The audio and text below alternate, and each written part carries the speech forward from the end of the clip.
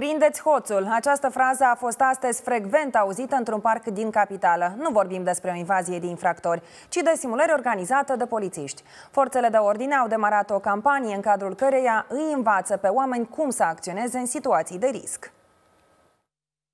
Это твой телефон, золотой. Я у тебя его буду отбирать. Я хулиган. Похож?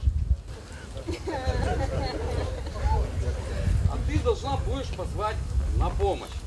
Опа, телефончик мой. Пачек. 99% случаев люди на улице закрываются и не зовут на помощь. Теперь наоборот. După cum vedeți, potențialul reacționează, solicită ajutor, fapt pentru care făptuitorul își reduce din intenția de a comite. Deși au fost doar simulări, unii spectatori nu au lăsat să le scape hoțul. Vorbim de și care au intervenit. Oamenii au fost instruiți cum să se apere în cazul în care ar fi atacați de huligani. în jos. Și el n-a mă scoate nici ca cum, nici când. Ea ca stăi jumătate de oră și n-a mă.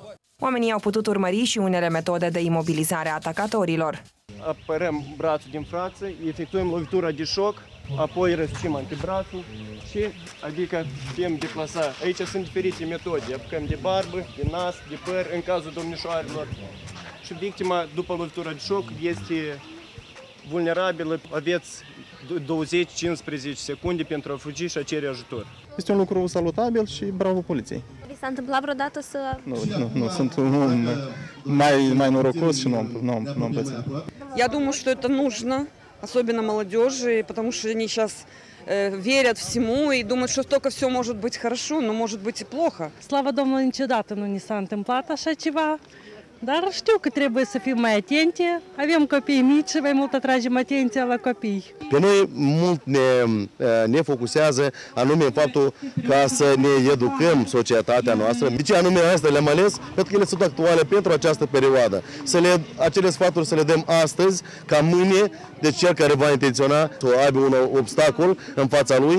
De la începutul anului, în țară au fost comise peste 19.000 de infracțiuni, dintre care 22% în locuri publice.